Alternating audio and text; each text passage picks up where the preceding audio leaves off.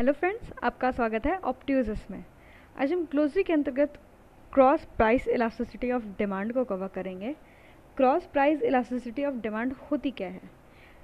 Between two goods measures the effect of change in one goods price on the quantity demanded of the other good हम इसमें देखेंगे कि क्या effect होता है अगर किसी एक गुड का जब प्राइस चेंज होता है तो दूसरे गुड की क्वांटिटी डिमांड में क्या चेंज आता है।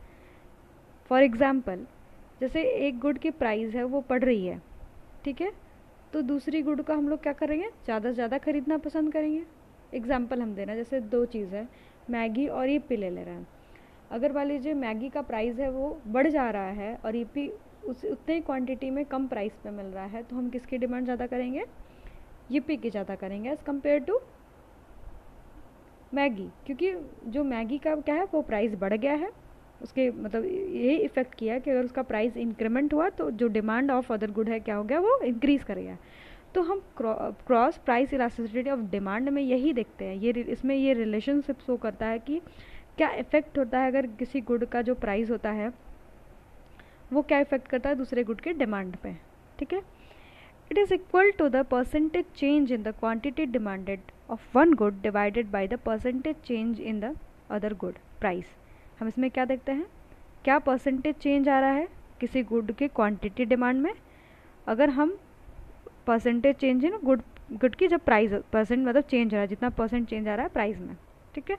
तो ये इसका फॉर्मूला है cross price elasticity of demand between good A and B का क्या है? Percentage change in quantity of A demanded percent by percentage change in the price of B ये आपका फॉर्मूला हो गया cross price elasticity of demand का।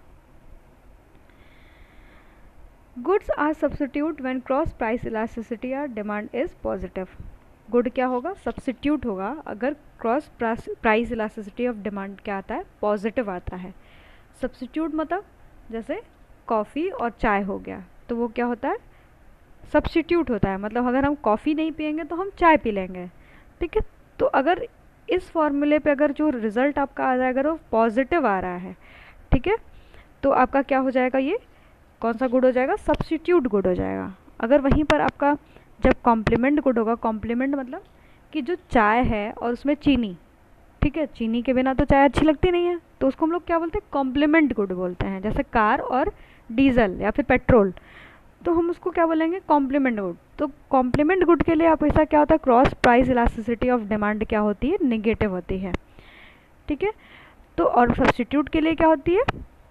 Positive होती है। क्योंकि पॉजिटिव इसलिए होती है क्योंकि हम उसको सब्सटीट्यूट कर सकते हैं, एक गुड से दूसरे गुड को। और कॉम्प्लीमेंट में कि इसलिए निगेटिव होती है क्योंकि दूसरा जो गुड होता है वो, उसका जो डिमांड होगा वो घट ही जाएगा। अगर अगर आपका जो दूसरे वाले गुड का प्राइस बढ़ जाता है तो इस वजह से ये नेगेटिव हो जाता है। तो आप यह ये चीज़ ध्यान रखिएगा कि सब्सिट्यूट गुड के लिए cross price elasticity of demand क्या होता है? पॉजिटिव होता है और कॉम्प्लीमेंट गुड के लिए निगेटिव होता है। Thanks for watching